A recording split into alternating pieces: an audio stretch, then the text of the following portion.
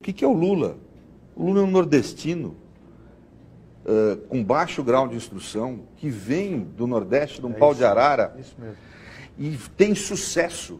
Isso. É presidente da República e vamos Duas ser objetivos, realiza dois governos que foram os melhores, talvez, da nossa história republicana. Isso. Com tudo isso, é, isso movimenta numa elite de descendência europeia, que ou veio aqui para escravizar, utilizando de mão de obra escrava, ou veio aqui para ocupar o lugar do negro, na ascensão social e no domínio da riqueza simbólica.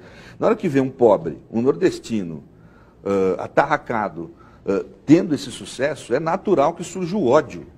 Porque é isso todo, que nós né? estamos. E no não mundo é? todo. É natural, nós temos que entender esse sentimento que não é a razão única, mas é certamente um afeto que é importante. Eu sou espinosiano, acho que as coisas não se explicam só pela, pela racionalidade, elas se explicam pela afetividade. Né? Quer dizer, ou seja, nós temos um momento em que há um, um segmento da nossa, das nossas elites, não toda ela, mas um segmento dela, que hoje tem muita força, que tem um ódio desse homem.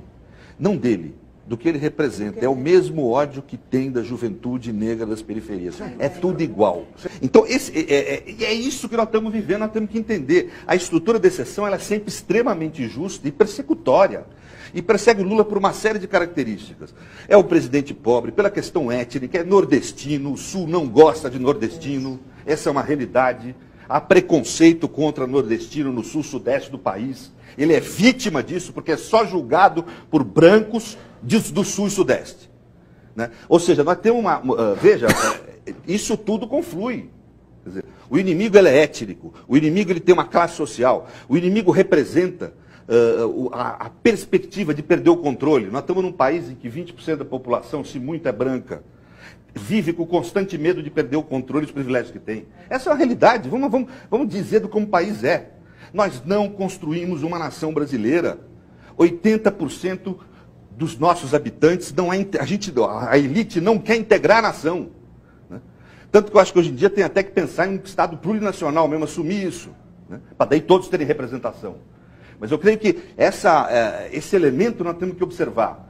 A única chance de civilidade que nós tivemos na nossa história foram dois momentos, a Constituição de 88 e esse período do governo Lula, que obedeceu à Constituição de 88. Não houve governo que cumpriu mais a Constituição de 1988 que o do Lula. Isso é ponto, isso é uma, qualquer constitucionalista, quando olha, vai observar isso.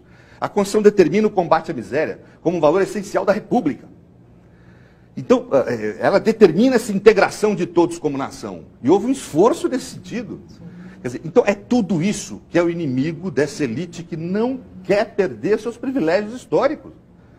Nós não estamos tratando com um problema secundário. O, Lula, o caso do Lula não é o Lula. Estamos tratando da nossa alma como sociedade, do nosso espírito, da nossa história, das nossas profundas contradições, do nosso lado sombrio, é isso que nós estamos lidando nesse caso. Eu, eu, eu diria, é raro acontecer isso, né? Num programa jornalístico. Eu diria que se eu não tivesse que levar esse programa mais três, quatro minutos, eu terminava ele aqui, porque. Brilhante. Porque foi realmente dessas. Na, na, em, em, em terapia se diz que é o momento terapêutico.